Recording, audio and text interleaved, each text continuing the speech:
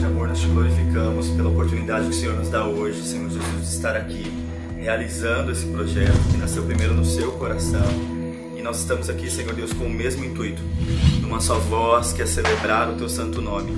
O objetivo, Senhor, único aqui, Senhor, é a centralidade da tua presença.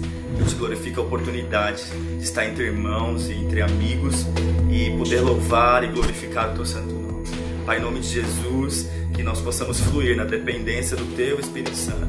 Tua presença já é notória aqui, receba a nossa adoração, Senhor. Tudo é para Ti, para a Tua honra e glória, em nome de Jesus.